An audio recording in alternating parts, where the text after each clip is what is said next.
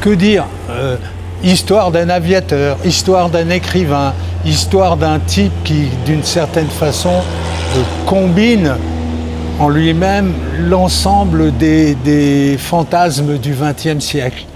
Euh, finalement, Saint-Ex est un prince quelque part au niveau de la pensée.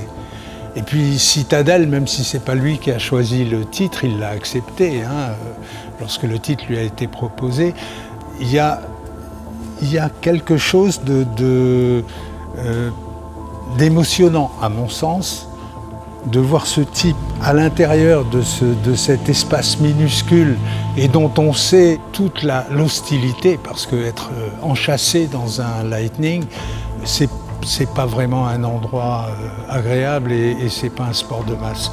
Donc être là-dedans par rapport à la notion de prince, bon évidemment on peut rajouter le petit prince, mais, à la limite le petit prince est un peu extérieur.